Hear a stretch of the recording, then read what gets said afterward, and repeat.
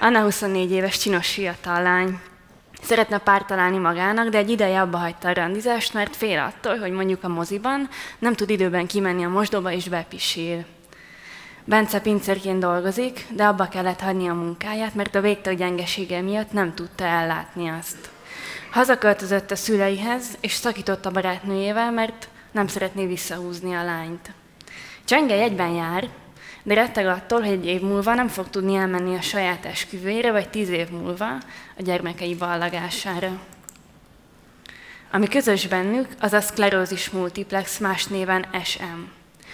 Az agyunkat idegsejtek építik fel, és minden idegsejtet körbevesz egy védőhüvely, úgynevezett mielin burok. Esemben egy autoimmun folyamat következtében a test saját maga ellen fordul, és lebontja ezt a mielin hüvelyt. Ezáltal a, te- a sejtek nem képesek hatékonyan kommunikálni egymással.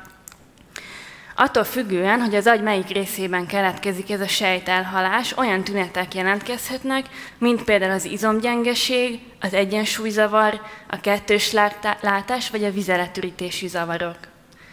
Ez történik a testtel. De mi van mindeközben a lélekben? Van, aki iszonyúan dühös lesz. Dühös lesz az orvosokra, az életre, vagy az egészséges emberekre, mint te vagy én. Van, aki állandóan azt kérdezi, hogy miért pont én, én nem ezt érdemeltem, én jó ember vagyok, és különben is még csak 25 éves. Majdnem mindenkinél megjelennek az öngyilkossági gondolatok. Van, aki azon izgul a székbe kerül, és van, aki a kilátástalanságba menekül. Mit lehet ilyenkor tenni? Sok ilyen emberrel találkoztam a klinikán, és segítő szakemberként azon gondolkoztam, hogy mi a manót lehet velük csinálni. Mit lehet egy ilyen látszólag kilátástalan helyzetben tenni. Egészen az Amerikai Egyesült Államokig utaztam, ahol megtaláltam a választ. Ami a mindfulness.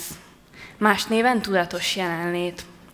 Ez azt jelenti, hogy a figyelmünket lehorgonyozzuk a jelenbe, ahelyett, hogy a múlton rágódnánk, vagy a jövő miatt aggódnánk.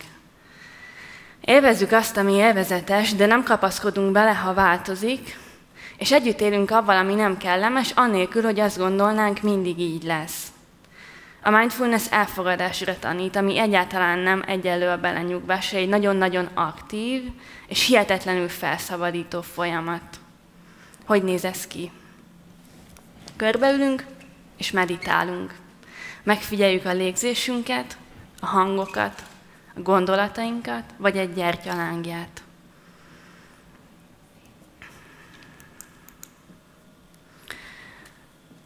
Meditálunk, és elfogadjuk azt, amit nem lehet változtatni.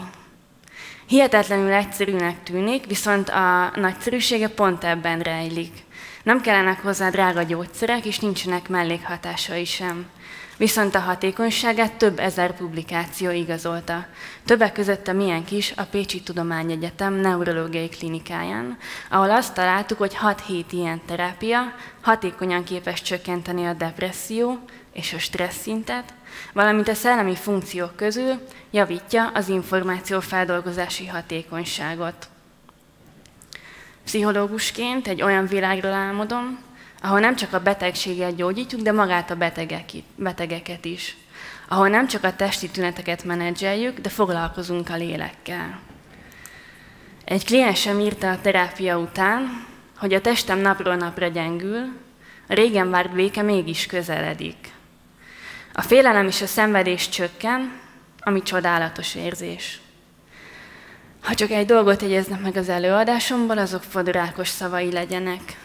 Egészséges az, aki békességben él betegségével. Köszönöm.